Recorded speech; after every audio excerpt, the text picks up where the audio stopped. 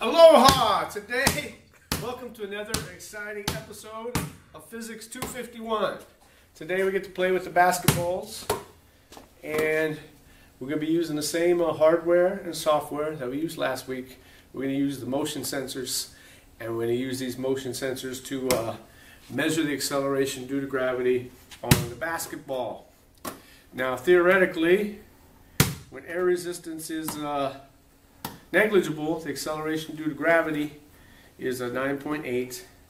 Um, air resistance should be pretty negligible on the basketball because it's a it's moving at a slow speed. Um, so we're gonna, you guys gonna hold the basketball here. Someone will hit the record button. This guy will start clicking, and then you can drop this guy. And then the the tricky part is you want to get three good bounces where it stays under the detector. Uh, that may be a little hard to do because the floor is not so perfect in here, but you can move it around. We just did it, so you can do it with a little practice. Um,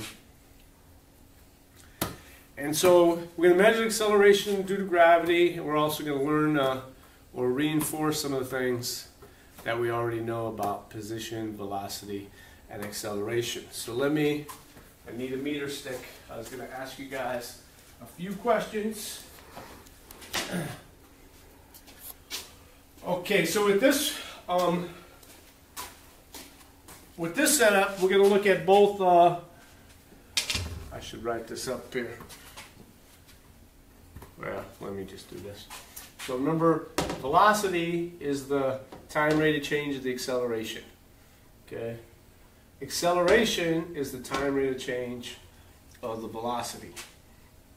And we, we remember from, uh, we were messing around last week, that if you have a graph of position versus, versus time, then the velocity is represented by the slope.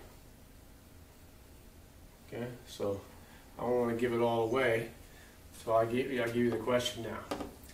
Question, if acceleration is constant, what should the velocity versus time graph look like? And it's an awesome question.